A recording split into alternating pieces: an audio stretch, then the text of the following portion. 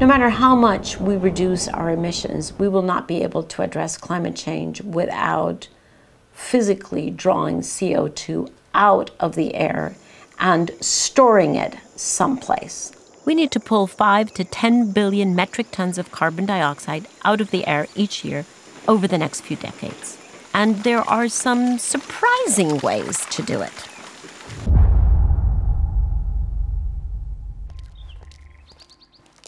My name is Dale Vince. I do a bunch of different things, all related to sustainability. We have to find a way to bring large amounts of carbon back out of the atmosphere that we put there and lock it up somehow.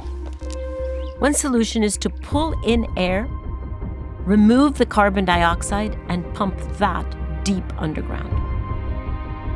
Capturing carbon this way can be expensive. And Dale's solution is to turn the carbon in the air into something very valuable.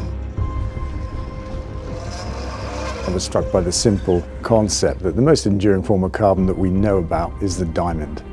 And wouldn't it be amazing to be able to take carbon out of the atmosphere and just lock it up permanently? But into something also that's great fun. We have what we call our sky mining works. And this is where we pull the gases we need from the atmosphere. The carbon captured from the air is fed into a diamond oven, a sealed chamber containing a diamond seed.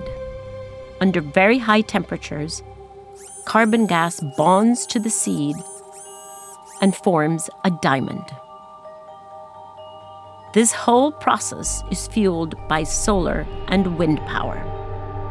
What we found in the process is the carbon footprint of what we avoid, the diamond mining of the earth, is enormous.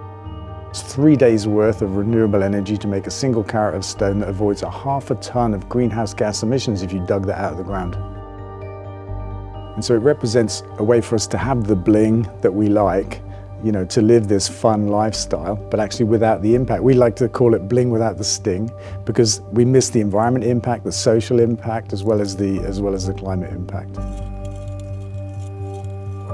You know, this is where we need to be in our industrial processes now. We need to be cleaning up the atmosphere, the land, the water in the process of making whatever it is that we're making. We've got to reverse the tide of the last 100 years as we make things.